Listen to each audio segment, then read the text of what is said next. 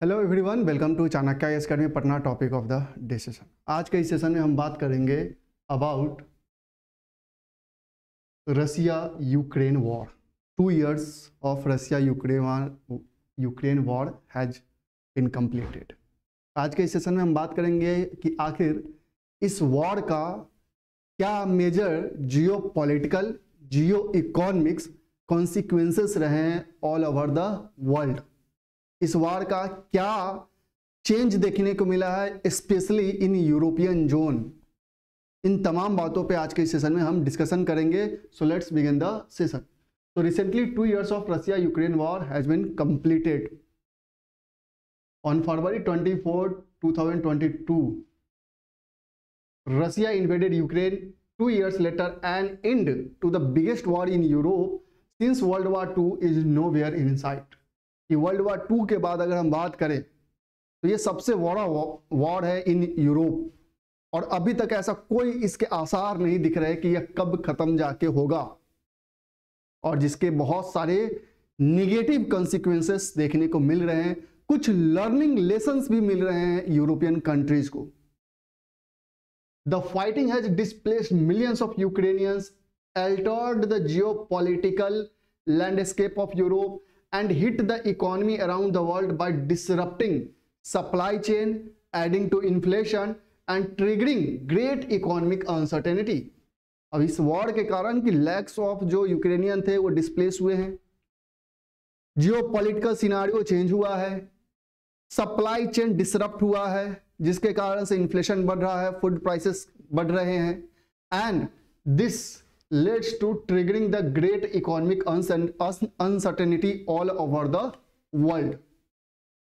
इसके major consequences क्या है तो geo political geo economics major consequences है, जो कि पूरे वर्ल्ड ओवर पे देखने को मिल रहा है स्पेशली ऑन यूरोपियन कंट्रीज़ सबसे बड़ा अगर इकोनॉमिक प्रॉब्लम देखिए तो जो सप्लाई चेन डिसरप्ट हुआ था, जिसके कारण फ़ूड इन्फ्लेशन काफ़ी बढ़ा था वाइल प्राइसेस बढ़ने लगे थे बहुत सारे लोग माइग्रेट करने लगे थे इधर उधर जाने लगे थे। तो ये सब इसके मेजर कंसिक्वेंसेस थे। थोड़ा सा हम बैकग्राउंड पहले देखते हैं then we will come to the main point कि क्या इससे लोग, जो अदर कंट्रीज़ है, उसमें क्या क्या चेंजेज आए हैं, उस पर हम बात करेंगे। पहले, उससे पहले हम थोड़ा सा इसका बैकग्राउंड देख लेते हैं।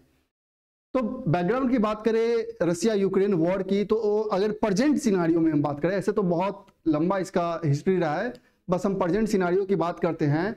तो टेंशन जो था between Ukraine and Russia escalated in late 2013 thousand thirteen over a landmark political and trade deal with European Union after this Russia invaded Ukraine and capture the Crimea which was part of Ukraine and annexing it March two thousand fourteen Russia invaded Crimea on the pretext that it was defending its interest and those of Russian speaking citizens और इसलिए Russia ने इसे invade करके capture कर लिया। अब जैसे ही क्रीमिया को रसिया कैप्चर करता है after that shortly after that a pro Russian separatist in Ukraine Donetsk and Luhansk region declare their independence from Kyiv the capital of Ukraine and the establish their own autonomous state called Donetsk People's Republic in 2014 and Russia in February 2022 recognized the independence of these two region. और जैसे 2000 finally in recent कह सकते हैं, दो साल पहले ही रसिया ने इसे रिकग्नाइज कर दिया इनकी इंडिपेंडेंस को। Kyiv and Moscow sign a peace deal in Minsk in 2015 this is also known as Minsk agreement it was brokered by France and Germany but it could not bring peace in the region but still इससे कोई peace maintain नहीं हो पाया। कारण बहुत सारे थे। Later in February 2022, twenty two Russian president Vladimir Putin declare war on Ukraine in a televised address and he said the military action announce by Russia will seek to demilitarize Ukraine and came in response to the threats from Ukraine और यहाँ से एक ऐसा war start होता है जो अभी तक चल रहा है और आने वाले टाइम में भी अब क्या ये सच में खत्म होगा, कब खत्म होगा, इसका कोई इस्टीमेटेड अकाउंट नहीं है। कोई ऐसा भी फ्यूचर इंसाइट इसमें नहीं देखने को मिल रहा है कि यह पीस मेंटेन यहाँ हो सकता है। वाई रसिया इन्वेटेड यूक्रेन अब हम बात करते हैं प्रमुख जो कारण। सबसे पहला जो कारण है Russia wanted a guarantee Ukraine can never join NATO जब यूक्रेन ने डिक्लेयर किया कि Ukraine is going to join NATO तब यह मेजर रीजन बन गया कि रसिया कभी नहीं चाहता था कि यूक्रेन जो है वो नाटो को नाटो का मेंबर बने। बिकॉज़ अगेन वहाँ पे यूएस का इन्फ्लुएंस हो जाता उस रीजन में। तो रसिया ये गारंटी चाहता था यूक्रेन से कि यूक्रेन ये डिक्लेयर करे कि वह कभी भी नाटो को ज्वाइन नहीं करेगा।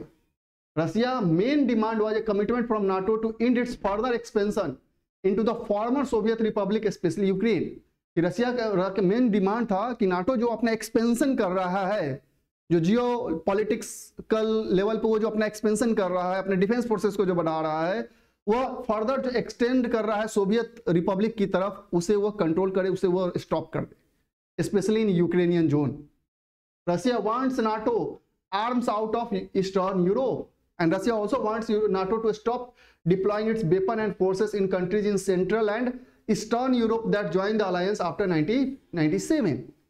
और वो चाहता था कि नाटो जो है, जो अपना एक्सपेंशन तो कर ही रहा है, जो अपने मिलिट्री सिस्टम्स को वो डिप्लॉय कर रहा है, उसे भी स्टॉप करे।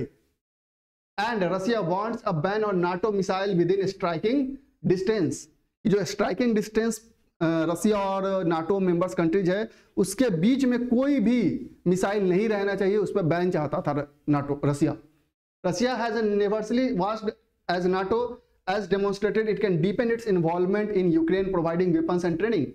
NATO missile on Ukrainian soil might pose serious threats to Russia's security because अगर NATO यूक्रेनियन जोन में या ईस्टर्न यूरोपियन जोन में कहीं भी अपने डिप्लॉय करता है सिस्टम्स को तो वो रशियन सिक्योरिटी के थ्रेट के लिए रशियन सिक्योरिटी पे बेसिकली एक थ्रेट था तो ये कुछ ऐसे पॉइंट्स थे जिसके वजह से रसिया काफ़ी ज़्यादा चिंता में कंसर्न था रसिया को इन पॉइंट्स के कारण तो रसिया चाहता था कि यूक्रेन जो है वो नाटो को ज्वाइन ना करे। नाटो जो अपना एक्सपेंशन कर रहा है, उसे वो स्टॉप करे। जो बेसिकली जो कह सकते हैं कि जो मिसाइल स्ट्राइकिंग रेंज में है, उसे वो डिप्लॉय ना करे, उस पर बैन लगे। इन सब पॉइंट्स के कारण जो रशिया का एक्सपेक्टेशन था वो फुलफिल जब नहीं हुआ तो फाइनली रशिया ने इन्वेड किया। Russia wants autonomy for eastern Ukraine और रशिया चाहता था कि जो ईस्टर्न यूक्रेन का जो रीजन है, उसे ऑटोनोमी प्रदान किया जाए, उसे इंडिपेंडेंस प्रदान किया जाए, जिसे रशिया ने ही रशिया ने भी फरवरी 2022 में रिकग्नाइज कर दिया था रशिया से Ukraine must meet its obligation under 2014 agreement जो कि मिन्सिक एग्रीमेंट के नाम से हम जानते हैं The peace deal known as Minsk Agreement was signed to end the fighting between Ukraine army and pro-Russian separatists in eastern Ukraine. The Minsk Agreement also provided additional autonomy to the separate Russia-speaking uh, territories in Donbass. और ये जो Russia जो चाहता था कि eastern Ukraine को basically autonomy प्रदान किया जाए। और चूँकि ये हो नहीं रहा था तो रसिया का कहना था कि ये मिन्सेक एग्रीमेंट का वायलेशन है। क्योंकि ईस्टर्न जो यूक्रेन जोन है वो प्रो रशियन है और उन्हें इंडिपेंडेंस मिलना ज़रूरी है। तो ये सब मेजर रीजन थे कि रशिया ने इन्वेड किया यूक्रेन पे। अब इंपैक्ट क्या रहा है of this war on the modern warfare क्या लेसन मिले हैं लोगों को? क्या मेजर चेंजेस देखने को मिले? तो सबसे पहला जो फोकस रहा है गो स्मॉल कि अब बड़े बड़े टैंक्स यूज़ नहीं किए जा रहे अब छोटे छोटे ड्रोन्स यूज़ किए जा रहे हैं। और इसका परिणाम था कि जो ड्रोन इंडस्ट्री है, उसमें ह्यूज जंप देखने को मिला है। Instead of tanks and planes nimble drones have emerge as a conflicts weapon of choice unmanned craft give commander on both sides an aerial view of the battlefield allowing them to monitor the enemy movement in the real time. Ukraine's use of inexpensive uninhabited maritime vehicle umv to target russia's black sea fleet has popularized remote control weapon by the sea. And the primacy of drones has set off another kind of competition, the race to disable them through signal jamming. According to some estimate, global drone market is expected to reach 260 billion by 2030, growing almost tenfold from the year before Russia full scale invasion. कि आप देख सकते हैं कि ये जो war का जो सिनारियो रहा है काफ़ी अलग रहा है कोई बड़े बड़े टैंक्स नहीं है यूज़ किए जा रहे हैं यहाँ पे ड्रोन्स यूज़ किया जा रहे हैं यूए भी यूज़ किए जा रहे हैं यूएम भी यूज़ किए जा रहे हैं तो नए टेक्नोलॉजी का यूज़ करके वहाँ पे बेसिकली कह सकते हैं ड्रोन टेक्नोलॉजी का यूज़ किया जा रहा है। और इसका परिणाम है कि जो ड्रोन इंडस्ट्री है, उसमें टेन फोल्ड इंक्रीज देखने को मिलेगा। बाई 2030 ऐसा एस्टिमेट बताया जा रहा है 260 बिलियन डॉलर का होगा। तो ये वार का एक नया, कह सकते हैं, एक नया सिनारियो देखने को मिल रहा है। गो स्मॉल आफ्टर दैट हम बात बात करें। Sanction are not a silver bullet बहुत सारे सैंक्शन लगाए गए। रसिया पे। लेकिन क्या उसका कोई परिणाम देखने को मिला? क्या ये वॉर शांत हो गया? Group of seven nation have impressive area of sanction on past two years they block much of Moscow access to international financial system immobilise central bank reserve and progress the of hundred of individual and entities but far from imposing massive and severe consequences they have neither deterred Russia's war nor led to collapse of its economy And that is partly because of country's ability to circumvent restriction or mitigate their effects. कि इस war के बाद भी बहुत सारे silver bullet चलाए गए means in the form of economic sanctions financial sanctions but still क्या ये रसिया को हैम्पर कर पाया? क्या उसकी इकोनॉमी को हैम्पर कर पाया? बहुत सारे ऐसे मेजर्स लिए गए बट स्टिल रसिया कंटिन्यू कर रहा है war supply chain independence is paramount कि सबसे ज़्यादा इफ़ेक्ट अगर हुआ था इससे तो supply chain the war has expose the critical importance of domestic supply chain The war has shown how important it is for countries to have their own supply chain at home. लोगों को अब domestic supply chain create करना ज़रूरी है क्योंकि global level पे ऐसे कभी भी वॉर हो सकते हैं दैट्स वाई डोमेस्टिक सप्लाई बहुत इंपॉर्टेंट है when ukraine need more military supply it has to talk with its friend for help when russia need them it can usually make more of its own factories that it runs and it pay for them using its currency, the ruble. जब Ukraine को चाहिए था supply chain तो उसे अपने friend से help मांगना पड़ा। जबकि रसिया ने जो डोमेस्टिकली क्रिएट करके रखा था, बस उन्हें अपने रूबेल में पे कर रहा था, वहीं से वो क्रिएट कर रहा था। तो रसिया के पास ये एक अलग एडवांटेज था। After that Russia's invasion of Ukraine reshaped the geo of the world कैसे रिसेप्ट किया जियो ऑफ़ द वर्ल्ड को? जैसे जिसका, जिसके बारे में मैंने शुरू में भी चर्चा किया था specially European country start focus on it security and defence इससे पहले मेजर फोकस कहीं और एरियाज़ थे इकोनॉमिक्स थे एजुकेशन था। अब सिक्योरिटी और डिफेंस पे भी यूरोपियन कंट्रीज़ फोकस करना स्टार्ट कर रहे थे। डोमेस्टिक चीज़ें डेवलप करना स्टार्ट किया उन्होंने।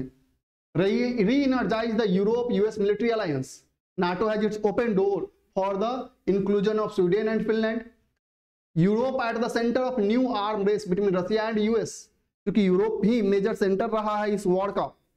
तो ये एक नया सेंटर बन गया है आर्म रेस का between Russia and US Russia suspended its participation in the new start treaty negotiated with US in 2011 to cap their nuclear weapons and the trust deficit between Russia and the west is at all time high the US led alliance is powering weapon into Ukraine और US के जो alliance है, वो लगातार weapon provide कर रहे हैं Ukraine को। Development of a strong Russia China axis अब चूँकि चाइना और यूएस का कंफ्लिक्ट चल रहा तो यहाँ पे अब एक अनदर एक्सिस डेवलप हो रहा है रसिया और चाइना का कंसर्न ऑफ़ डेवलपिंग नेशन सबसे ज़्यादा कंसर्न डेवलपिंग नेशन को है सप्लाई चेन डिसरप्ट होगा मार्केट डिसरप्ट होगा एक्सपोर्ट इंपोर्ट डिसरप्ट होंगे The war has disrupted supply chain and prices of energy, fertilizers and essential commodities has increased. As a result, various developing countries have started to feel heat of this war. और इसके कारण सबसे ज़्यादा अगर किसी को impact हुआ है तो डेवलपिंग कंट्रीज़ है, जिनका सप्लाई चेन डिसरप्ट हुआ है फर्टिलाइजर्स का प्राइसेस इंक्रीज हो गया है फ़ूड इन्फ्लेशन हो रहा है, लोग माइग्रेट कर रहे हैं। तो ये बेसिकली एक कह सकते हैं जो मेजर कुछ जियो पॉलिटिकल्स इम्पैक्ट थे रसिया यूक्रेन वॉर का। तो अभी रिसेंटली इसका दो साल कंप्लीट हो गया है, लेकिन आने वाले टाइम में भी ऐसा कोई फ्यूचर इंसाइट नहीं दिख रहा है कि ये कब शांत होगा, कब इसका कोई प्रॉपर कंक्लूजन निकल के आएगा। आई होप आपको ये चीज़ें समझ में आई होंगी। So that's all for today thank you